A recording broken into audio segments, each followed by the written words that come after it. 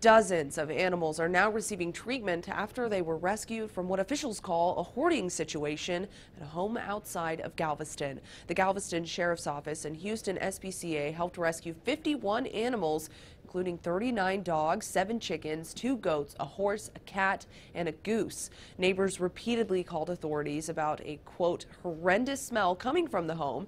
The Galveston County Sheriff tells the Houston Chronicle the home was filled with trash and feces, and the smell was so bad, officers struggled to seize the animals. Right now, many of the animals are getting individualized treatment depending on their medical condition.